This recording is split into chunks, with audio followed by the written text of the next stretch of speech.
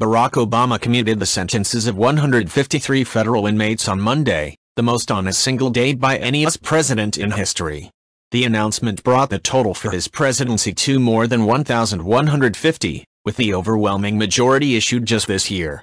Obama also issued 78 presidential pardons, a power he has exercised much less freely during his presidency. In fact, Obama issued more pardons on Monday than he had throughout his entire eight years in office to date, 70. The power to grant pardons is one historically reserved for the waning days of presidential administrations.